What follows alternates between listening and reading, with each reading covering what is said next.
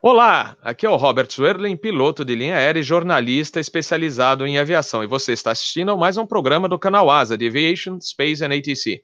E no episódio de hoje nós vamos lembrar do sequestro do voo 375 da VASP, que ia de Confins para o Galeão, e tem uma história muito grande, aliás, no dia 29, então, vai, vamos completar 30 anos do acontecido, e nada melhor é, do que termos a pessoa que passou por tudo isso, né, é, nesse episódio, para contar os detalhes. E vamos dar as boas-vindas, então, ao comandante Fernando Murilo. Muito bom dia, comandante Murilo, bem-vindo ao canal Asa. Bom dia. Comandante, eu queria que o senhor lembrasse, então, uh, os detalhes. Aliás, né, a gente já andou conversando até antes de entrar no ar, é, já era um voo cansativo, que o senhor saiu de madrugada, né, de Cuiabá, foi até Porto Velho, voltou, já era uma situação meio adversa na parte de, de fadiga, etc. Né? É, é, esse voo era um pouco cansativo, mas chegava cedo em casa, é, uma por volta de uma e meia já estava posando no galhão uma hora. Então ele. E aí? É, é, é eu, aí o senhor, o senhor decolou de Confins, tudo normal, né? É, a gente tem até uns detalhes muito bons no livro do Caixa Preta. Aí foi tudo normal. Como é que tudo aconteceu? Bom, é, eu decolei de Confins, eu estava com outro copiloto a bordo é, de extra, o REM. Ele estava indo de Confins para o Galhão, que ele assumiu um voo em São, no Rio de Janeiro. E ele entrou e sentou na, no Jump City, atrás na cabine de comando, e eu decolei de Belo Horizonte. Aí entrava um almoço para a gente em Belo Horizonte. Eu pedi o nosso almoço. Aí foi servido o almoço e tal, e começamos a almoçar. E fechei a cabine de comando, tem uma trava na, na porta, né? Travei a porta e começamos a fazer a refeição. Daqui a pouco escutamos um tiro. Aí eu falei para o REM, que era o Jump City, falei assim, por favor, dá uma olhada ali atrás, pareceu um tiro. Aí ele olhou e falou assim, caramba, tem um cara armado aqui atrás. Aí nisso começaram a aparecer tiros para tudo que é lado. Eu, eu sentei na janela do avião, na, do lado esquerdo, né? Ele, como não tinha para onde fugir, acabou levando um tiro na perna. Aí, os tiros sequencialmente, ele, ele furou a cabine de comando. Ele, como estava travada, ele rodeou a maçaneta da porta com tiros. Então, conseguiu entrar na cabine. Aí começou a negociação, né? Eu já é, falei assim, olha, por favor, o rapaz aí, o Ren, está com um tiro na perna, está perdendo muito sangue aí. Por favor, você podia deixar ele lá para trás para ele se cuidar melhor, alguém cuidar dele, porque ele está perdendo muito sangue aqui. Ele tinha quebrado já a tíbia ou o perônio, não me lembro qual dos dois, com um tiro que ele que passou pela porta. Que a porta antigamente não era prova de bala. Né? Aí ele, com, depois de negociar bastante, ele consentiu que o REM fosse lá para trás. Aí começou a Odisseia. Eu, conforme ele foi dando os tiros, o REM ainda estava na cabine, eu fui colocando o código de sequestro no no, no transponder. No transponder. E cada intervalo de tiro eu colocava um número. Aí consegui colocar o, o, o código do transponder e ele deu a ordem dele, olha, vamos voltar para Brasília. Eu falei, tá ok, vamos voltar para Brasília. Aí ele falou assim, eu vou, nós, nós vamos é, até lá e quando chegar mais perto a gente fala o que vai acontecer. Aí, nesse ínterim, eu já estava subindo, eu, eu fui subido por 370, porque eu saí com combustível do, de Confins para o Galeão, alternando Guarulhos. É, quer dizer, não era muito combustível. Aí eu subi para o teto do avião, que era 370 pés, 37 mil pés. Subi para o teto do avião e reduzi um pouco a velocidade. Nisso, Brasília já estava recebendo o código de transponder, que, que era de sequestro. Ele chamou o nosso avião e falou assim: Brasília está ciente. O Vangelis, quando ouviu aquilo, foi abaixar para pegar o microfone para falar do lado esquerdo. Quando abaixou, eu acho, eu acho, isso é pensamento meu, que ele pensou que fosse para pegar alguma arma, alguma coisa. Aí deu um tiro no pescoço do, do Vangelis, ele só tremeu assim e caiu morto. Ele caiu no, no manche, né? Em cima Foi... do manche, isso. Eu imagino como deve ter sido difícil para o senhor, né? O copiloto Salvador Evangelista, que era o nome dele, né? E é, vocês chamavam ele de Evangelis e perder um amigo dessa maneira e ainda voando, né? Numa situação bem complicada, né? Como é que foi? É, isso é... é ele era um amigo de frequentar a minha casa, inclusive. Ele ia para lá para casa para gravar música e tal. E era amigo íntimo. Então, é, eu sofri muito na hora. Aí, bom, de qualquer maneira, aí eu subi para o nível 370 e estou indo para Brasília. Avisei ao Centro Brasília que eu estava com o Boom Mike. Avisei ao Centro Brasília que ele tinha acabado de matar o meu copiloto.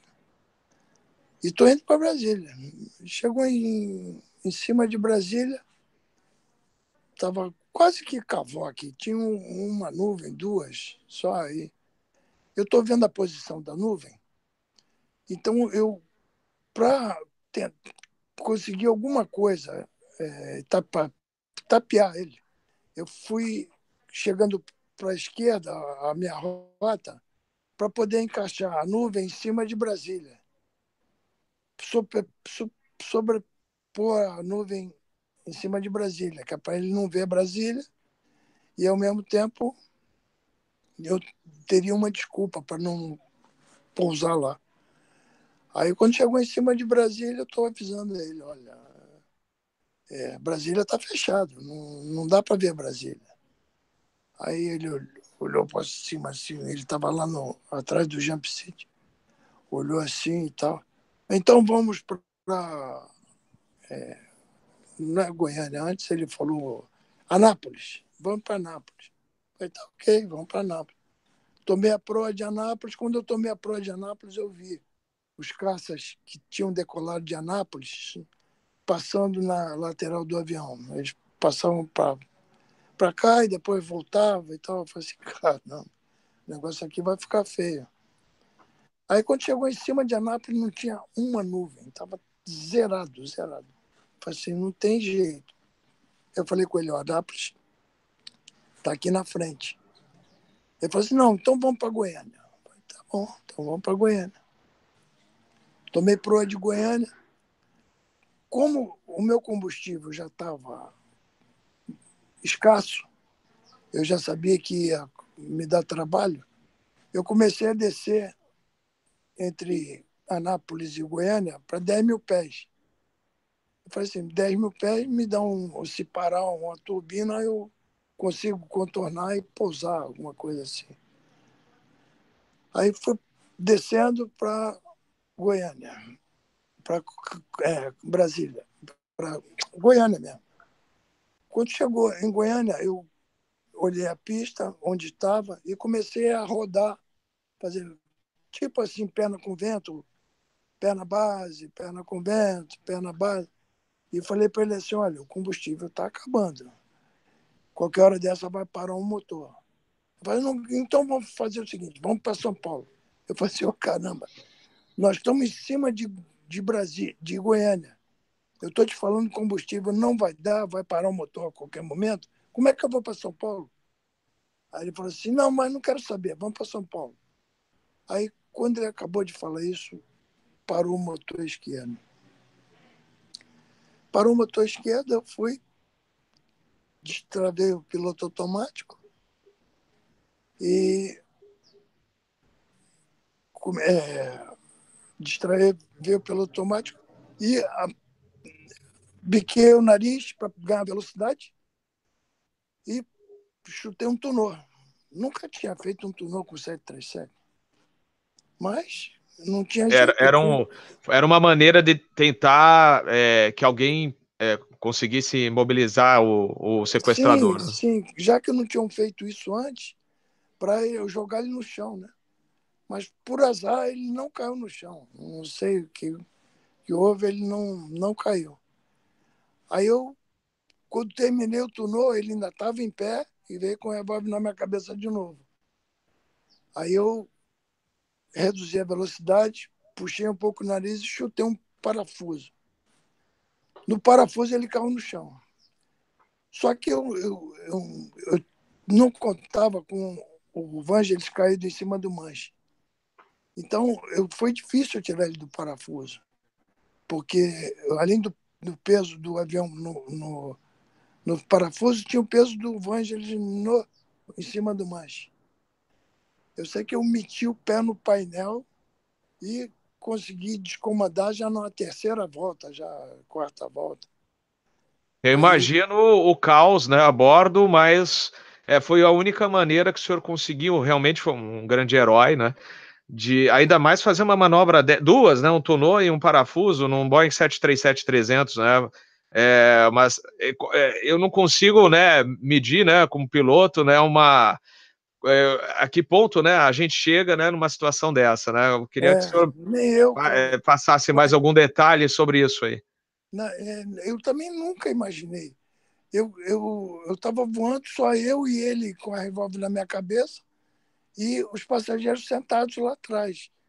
Eles estavam, inclusive, depois é que eu fiquei sabendo no chão, que os passageiros pensavam que eu que essas, esse parafuso e, e o tunô tivesse sido instrução para me livrar do sequestro. Que fosse uma instrução normal para combater sequestradores. Aí fiz o tunô, fiz o parafuso. Quando eu terminei o parafuso, eu estava com a pista na minha frente, de Goiânia. Aí peguei, joguei o trem de pouso embaixo, peguei a alavanca de flap, botei o flap para pouso e vim. Logo em seguida, toquei no chão. Acabei de tocar no chão, parou o motor direito. Aí sobrou um pouco de combustível só para alimentar um pouco a PU, né? Eu dei partida na PU, botei os geradores na barra e ele falou assim: agora vamos decolar para Brasília. Eu falei assim: olha, escuta só, eu tô, nós estamos aqui na pista. O abastecimento é lá no pátio. E eu tenho certeza que a gente não vai conseguir sair daqui para ir no pátio, para ir para o pátio, para abastecer. Eu falei assim, então eu quero outro avião. Aí eu já estava, passei a frequência para a Torre de Goiânia, já estava falando com o Goiânia, e falei assim, olha, ele está querendo um outro avião para ir para Brasília. Aí depois de algum tempo, eu negociando com ele, falando com a torre e tal. Aí a torre me avisou, olha, comandante, tem um bandeirante pousado aí na sua cauda para levar ele para Brasília. Eu falei assim, ok. Aí eu avisei ele, ó, tem um bandeirante, tem um avião aí para te levar para Brasília. Ele falou assim, tá ok, você vai comigo, você é meu refém. Eu falei, tá bom, vou contigo. Aí soltei o cinto, é, desarmei o jump seat, porque ele não tinha deixado desarmar o jump seat durante o voo. Aí desarmei o jump seat para poder passar, né? E fui com ele para o outro avião. Passei, conseguiram abrir a porta de trás, né? Para ele sair. Aí eu passei pelo corredor do avião e é, quando desci a escada que puseram atrás no avião, quando eu desci a escada, tinha. É, eu olhei para o bandeirante, era um bandeirante cargueiro e sem a porta de trás, sem escada, sem nada. Eu falei assim, caramba, como é que eu vou fazer? Aí chegamos na porta do avião, eu falei para ele, ó, não tem escada, não tem nada. Eu vou tentar te colocar lá dentro. Quando eu abaixei para segurá-lo para colocá-lo dentro do avião, saiu um tiro lá de dentro. Meu ouvido começou a zumbir. É, que tinha um atirador de elite com um pano preto cobrindo ele, lá atrás, lá na cauda do avião. E é, a primeira cabeça que entrou no avião, ele atirou. Por sorte, não pegou na minha cabeça. Aí conseguia baixar para colocá-lo dentro do avião. Quando eu estou levantando ele, aí veio esse tiro. Aí eu larguei ele no chão. Quando eu larguei no chão, que eu olhei, ele estava embaixo do avião, caído. Quando eu olhei, ele estava com o revólver apontado para o meu peito. Aí eu falei, caramba, aí deu um pulo. Aí ele, pá! Aí o tiro pegou na minha perna. Aí eu saí correndo, virei as costas para ele, saí correndo em zigue-zague. Não sei como também, cara. Não tenho a menor ideia. Se eu vi isso no filme, se o que, que foi. Eu corri em zigue-zague e ele descarregando o revólver em mim. Aí quando eu consegui passar pelo meu avião, Serra Novembro Tango, eu subi a escada correndo. Subi a escada correndo, fechei a porta e fui até a, a cabine para chamar Goiânia. Aí eu falei assim, olha, Goiânia, eu já estou aqui a bordo. O camarada está lá embaixo. Aí Goiânia deu ok. Aí eu estou sentindo meu, meu, um visgo na minha perna. Quando, quando eu olho para o meu sapato, está cheio de sangue. Porque eu, não, eu não sabia nem que eu tinha levado um tiro. Quer dizer, ele me atirou, mas eu não sabia que tinha pego. Aí falei assim, olha, Goiânia, eu estou ferido. Eu acho que foi na perna e tal, porque o meu pé está cheio de sangue, meu, meu sapato está cheio de sangue. Aí, nisso estava ocorrendo lá, lá fora. Subiu um, um atirador de elite, fora o que estava dentro do avião, subiu um no avião para atirar nele lá de cima. Quando ele subiu, ele caiu, quebrou a clavícula, quebrou o braço e tal, caiu no chão do avião. E o que estava dentro do avião, que deu um tiro que quase me pegou na cabeça, conseguiu acertar ele no traseiro. Ele, numa das da hora, uma hora lá qualquer, o cara pegou ele deitado e deu um tiro. Ele pegou no traseiro dele. Aí Goiânia me avisou, olha, pegaram, deram um tiro nele aí. E já conseguiram pegar ele. Aí, mas antes disso, cara, eu, antes dele sair comigo, eu tinha negociado com ele para tirar o Vangelis da cabine de comando, porque estava morto ali, caramba, é, o negócio tava, já tinha chorado, já tinha me feito mal, muito mal. Aí consegui, depois de algum tempo, que ele autorizasse a descida do, do corpo do Vangelis. Aí, após isso, aconteceu o que eu te falei. É, de, pegaram ele e tal. Aí nós fomos, pra, fomos praticamente juntos para o hospital. Ele com um tiro no traseiro e eu com um tiro na perna. É, aí pouco tempo depois ele morreu, né? A gente ficou sabendo que ele faleceu lá. Três dias depois. É. Fizeram, interrogaram ele. Aí chamaram o Badam Palhares para dar o, o laudo da morte dele, né? Diz que foi infecção generalizada. Mas ele só tinha levado um tiro no, no traseiro. O negócio é, foi... e as intenções dele eram malucas, né? Jogar o avião lá em Brasília. Jogar cara, no, em cima do palácio. Ao, ao estilo World Trade Center, uma coisa bem isso, complicada, isso. né? Complicado. É. A nossa sorte, é, a nossa sorte hoje, né, na aviação de hoje, infelizmente precisamos passar por 11 de setembro, né, os atentados, né, de, de 11 de setembro, que hoje nós temos a porta do cockpit é blindada, nós temos todo um, um procedimento, o passageiro de um lado ficou ruim para o passageiro, para o entusiasta, até mesmo para o familiar que não pode mais andar conosco no, no, cockpit, como era legal antigamente você levar um futuro piloto para andar no cockpit. Hoje não pode mais. É, é tudo decorrência. É, outra coisa que é um absurdo, né? Como é que um cara armado passou, né, pela revista de segurança no aeroporto, como era é, um aeroporto passou, internacional com ele, fins, ele estava né? com um blazer de jeans com 100 balas no bolso. 100 balas no bolso. Você imagina isso hoje é praticamente possível, mas fica de alerta, né? Porque alguns aeroportos pequenos, aí eles relaxam, né? Às vezes, ah, não, é. pode passar aquela coisa que não vai acontecer aqui, e é, até para as pessoas que estão assistindo não sabiam desse caso, né?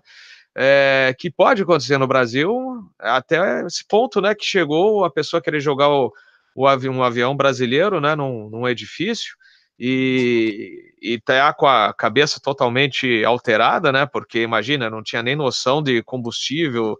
É, e não, aliás, né, na, eu, eu, é, na Gol é, foi não faz faz alguns anos já.